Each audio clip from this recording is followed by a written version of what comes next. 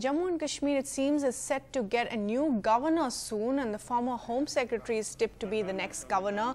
Uh, my colleague Neeta Sharma is now joining us uh, for more on this. Uh, Neeta, what exactly is happening now? Uh, why is it that we are we are believed to, uh, you know, we are being told that the centre is not keen to continue with NN Vohra, and therefore this change?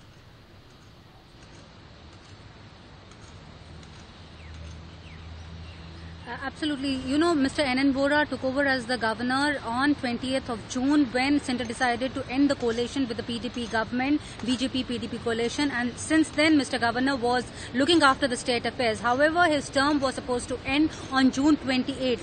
But the centre did not announce a new governor and termed his extension as an open-ended term because there was Amarnath Yatra which need to be looked into. And he is the guy, he is the man who is looking after the security paraphernalia of the entire state. So the centre decided to carry him on. But now the trigger seems to be a letter written by Mr. N.N. Vohra to Mr. Rajnath Singh, who is the Union Home Minister of the state of the country. Uh, in a letter, Mr. Vohra has categorically said that the centre should not be keen to pursue Section 35A because the matter is listed in Supreme Court in August on August 6th only. So he's written a letter that till the time a popular government is not in the state, centre should not pursue this. So the centre is not very uh, happy about this letter. And the second aspect is Mr. Vohra is also not uh, dancing to the tune of the central government. You know, the central government is trying to make a BJP-led government there in Valley after the PDP uh, coalition, you know, uh, ended. So they're trying to get another government in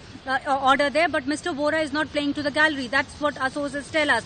Our sources also tell us Mr. Vohra, you know, has put his foot down. He does not want to be uh, acting as Mr. Jagmohan like way back in 1984, Mr. Jagmohan was made the governor of the state by uh, the then uh, Prime Minister Mrs. Indira Gandhi, who wanted Mr. Nehru, who was the then governor there. She wanted uh, Mr. Nehru to end the Mr. Farooq Abdullah's term and appoint Mr. G.M. Shah as the new chief minister.